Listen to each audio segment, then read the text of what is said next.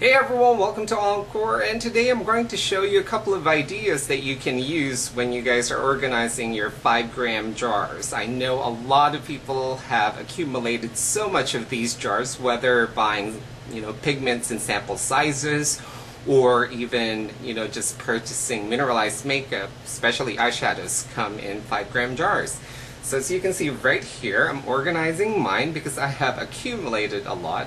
And here are a couple of, of ideas that I'm going to be sharing with you guys. If you guys are interested, keep on watching.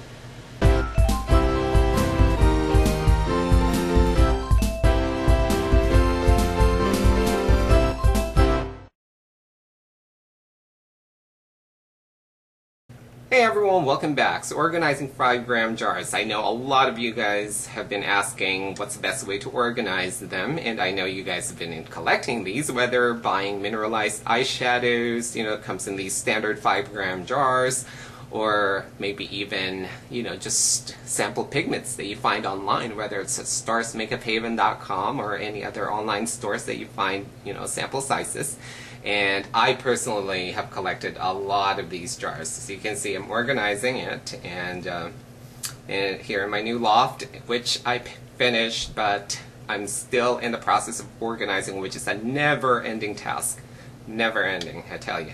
So, but I'm getting there, and I'm, I just wanted to share a couple of ideas with you guys as far as how I'm organizing my 5 gram jars.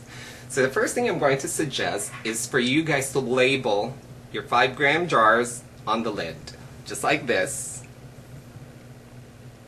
Okay, and what I use is I use clear labels that you can buy from office supply stores. So check out Staples, um, Office Depot, Office Max, places like that, and you'll find circle clear labels, just like this. And to print it, they all come indivi with individual instructions. So just follow the instructions because they're all different. Um, and usually it requires like a Word, like Microsoft Word, you know, and there are templates, you know, all of them have different kinds of instructions. So just kind of follow the instructions that comes with the labels that you buy. And then start labeling the lids of your drawers because when you organize them flat, you don't have to flip it to see the underside so you can read the color. So that way it's already on the top and that's going to prevent you from doing all these just to check what color it is or what the name of the pigment or the mineralized eyeshadow is. So that's kind of cool. Alright, so the first step is to label your jars on the lid. Okay, first idea is creating these organizers, alright? Now this concept is exactly like my lipstick organizing um, video, how to make that, so make sure to watch it. I think it's called Organize Your Lipstick save the planet or something like that. I can't remember, I have so much videos already. But anyway, I made these compartments out of paper cardboards. Actually, they're just like, you know, thick paper. And, uh, but it's stiff enough that, you know, it's giving me a good, you know, kind of compartments, you know, once it's built. And what I did is that I glued that right into a harder cardboard. So this is just a harder cardboard. It's actually a box cover from think it was a jewelry box or something. Anyway, so any stiff cardboard will work, so just glue that in there. And then for the compartments, just measure it so that it fits the jar that you're organizing, okay? The 5 gram jars are organizing. Okay, so once you finish that, and you have a tray just like this, it's easy. You just kind of organize your jars and it fits just like there. And once you fill all of the compartments, it should look like this. It's really, really cool. Alright?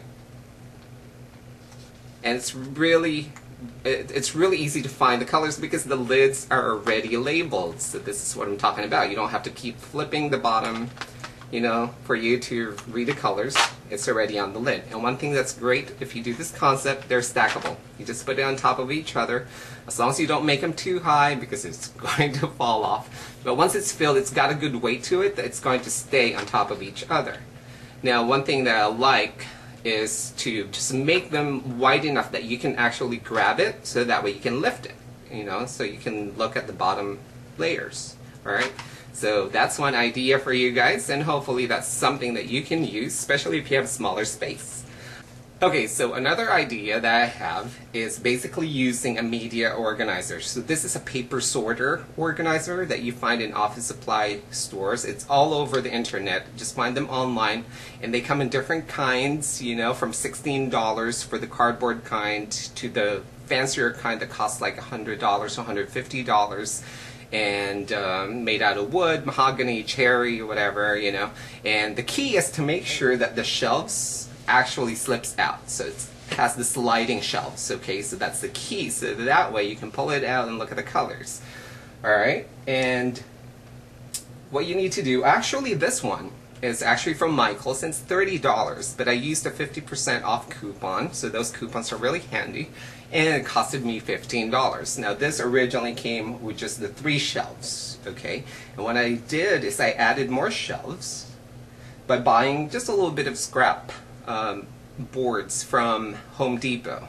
Now, on the side over here, I'm going to pull this one out and show you. So basically they're just, you know, board, you know, like wood boards that you can find. You can get these custom cut at Home Depot or where you get lumber and stuff like that. You can definitely do that. So just kind of like, you know, get the measurement of the main frame of whichever paper organizer you got. And what I did is that if you look kind of like on the side over here, these are wood, kind of like L-shaped crown molding wood that I just kind of screwed in uh, using uh, wood screws. And so definitely something that you can get your boyfriend, your husband, maybe your dad involved, and just create like a rail.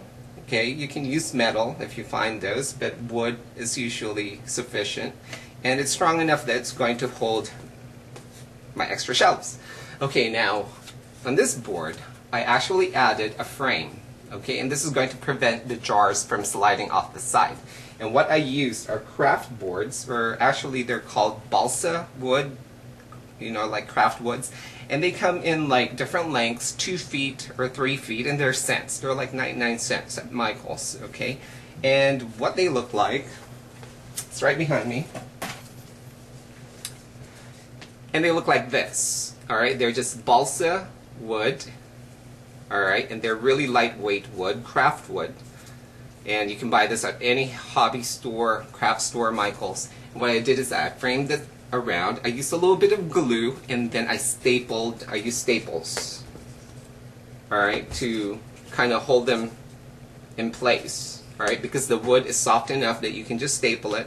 And of course the backboard is hard enough that it's going to hold that staple. And then in the middle part right here, I did kind of like a window pane pattern. And this is kind of going to separate the jars as well, so it's going to look more organized. I tried it without this and just filled it and it looks kind of blah.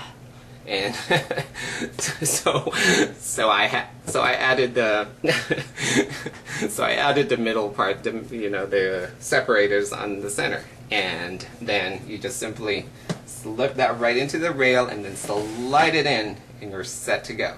Now this is what it looks like filled. You guys are to love it. There you go. See how organized that is? And it's amazing. I love it. And you can organize it the way you wanted it. I like doing it chromatically, which means I arrange it by colors. So all the reds are together, all the blues are together, all the purples are together and uh, then I arrange it from light to dark and it's just appealing to the eye that way so that's definitely another idea for you guys so wondering how you can organize you know the colors or maybe your palettes this applies to eyeshadow palettes you know arrange them from light to dark you know of uh, the same color tone. And uh, this is what it looks like once it's organized. And then again you can just pull this out look at the color pick whatever you want. And once you're done you just slide it back right into the paper organizer, which is now a 5 gram jar organizer, yay. And as you can see down here, I also um, added some pigment jars, you know, just your average pigment jars that looks like this, you know, where usually pigments and glitters are sold in.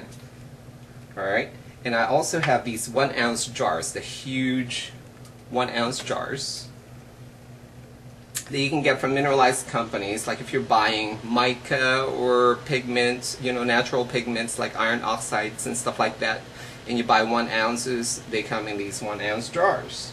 So it fits nicely in there. and then you'll be more organized. See how cool that is? Well, anyway, thank you so much for joining me today, guys. Until next time, I'll see you guys soon. Bye.